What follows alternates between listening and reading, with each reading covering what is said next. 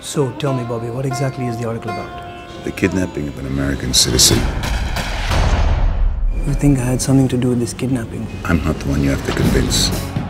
Our film is a page turning kind of thriller. Anything can happen at any moment.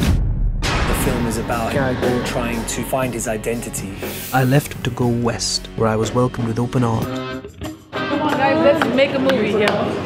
It was definitely an emotional experience for me. I had just had the baby eight weeks before I started shooting. I just said absolutely. Good answer. I play Jim Cross, and I hire Riz's character named Changez.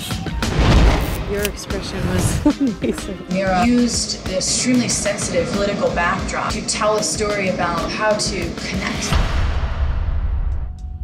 You picked a side after 9 11? I didn't have to. It was picked for me.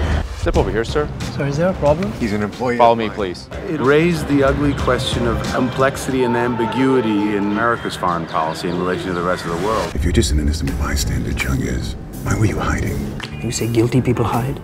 So do people who feel hunted. Through our own fear, we have taken, in some cases, our greatest allies, turned them into our enemies. Nothing is quite what it might seem. The camera is always moving. A clock is ticking. You don't know what is going to happen, who will live and who will die. You're playing a dangerous game, Changez. You're gonna get us both killed. Felt like what it was supposed to be. The audience will never know until the very end whether Changez is a terrorist or isn't one.